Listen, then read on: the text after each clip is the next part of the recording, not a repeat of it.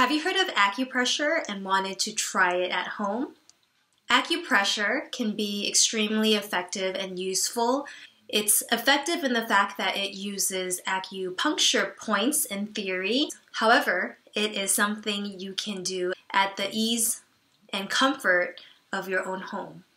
In acupressure, you use your own hands on specific parts of the body called acupuncture points and you apply pressure on these points instead of using acupuncture needles.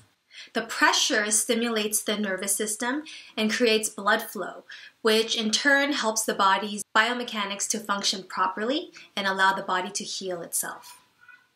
Along with your symptoms subsiding, you will feel a peaceful, nourishing relaxation similar to when you receive acupuncture, if you've tried acupuncture before. Due to its excellent results, acupuncturists will even use acupressure in their clinics on children, patients with highly sensitive nervous systems, and occasionally those people who are afraid of needles. Once you learn point locations appropriate for your symptoms, you're able to stimulate them throughout the day for relief by yourself. Obviously, acupuncture can be more effective and quick in obtaining its results, but acupressure is something great that you can do at home, and it's good knowledge for the patient to do at home. And it's usually homework that we give our patients anyway, in case they are not seeing us for a prolonged period of time. A common question I get is how long do I hold the points for? You usually want to stimulate each point for about a minute and a half to three minutes and work on taking deep breaths in and out. Now, for instance, if I was going to do this point LI4, I would hold it. I usually like to close my eyes and take a deep breath in and out. And we will continue to hold this point for about three to five minutes. You can hold it, you can do circles, you can go in and out, you can do whatever feels good in that point and hold it for as long as you feel it's necessary to get the relief that you need. Another question I get often is how often am I supposed to do acupressure? And the answer to that is you, there's no harm in doing it too often. Just for you to have a gauge, um, acupuncture is done in China on a daily basis, usually 10 days in a row consists of one treatment plan. So if you're able to do acupuncture daily for 10 days, acupressure is not as aggressive on the body. You can do it numerous times throughout the day whenever you think about it.